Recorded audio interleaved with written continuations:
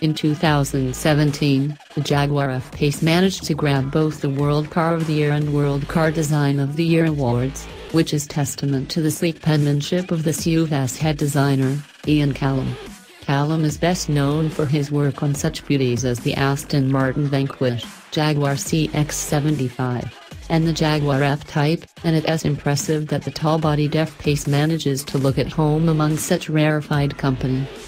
Even so, the SVR model adds another dose of aggression to the mix, rocking a fresh SVR branded aero package that adds a unique front bumper and rear bumper, new, lower side skirts, and a new spoiler on the hatch.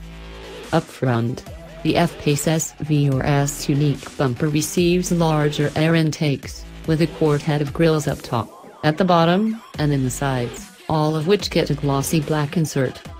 ULL also noticed the requisite SVR badge added in lower driver S side corner of the top intake, plus a subtle front chin spoiler down below.